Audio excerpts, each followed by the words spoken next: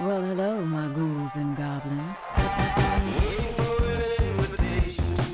I know you've got your costumes picked out for the frightful festivities.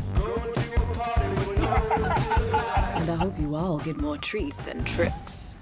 Halloween's upon us!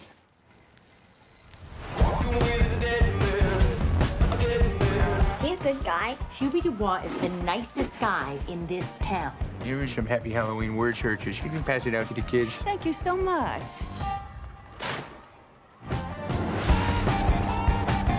As a trained volunteer, I know what it's like when the spooky fun gets out of hand. Oh, Officer D, No, no. the supermarket selling expired bacon. Janet at the library has not been herself lately. I heard a voice in the sewer. I'm sorry, I didn't recognize him.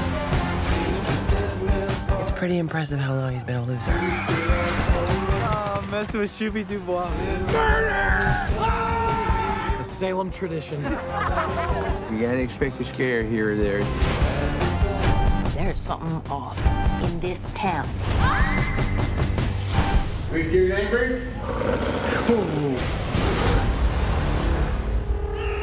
Mr. Lambert? Is that you?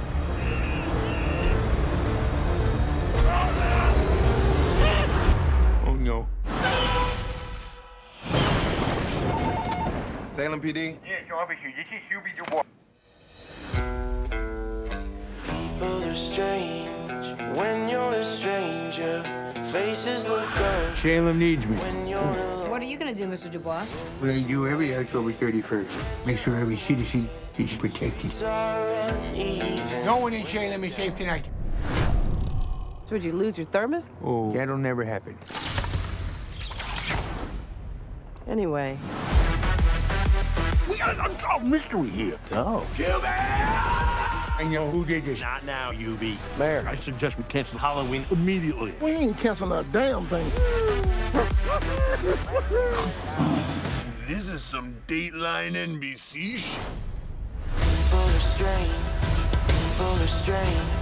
People are strange. You're the best person I know. That's why you're a hero.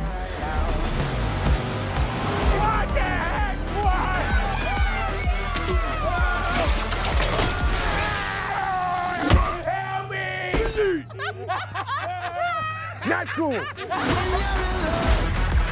Hello.